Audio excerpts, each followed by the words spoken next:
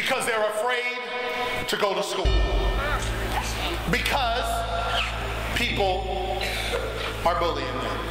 There are thousands of young people that get onto the computer and to the cell phone, and every year they're driven to feel like there's no hope in their life because of the thing they carry around.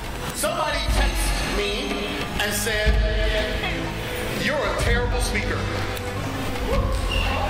I went on to my internet site and someone said, You shouldn't be working with young people. You don't know what you're doing.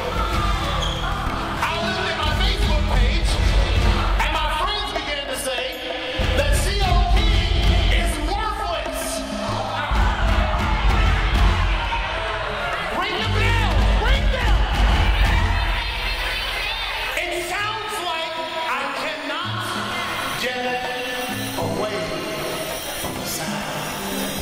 My cell phone, my computer, everywhere I go. Thank you. But I decided one day, look at me, young man.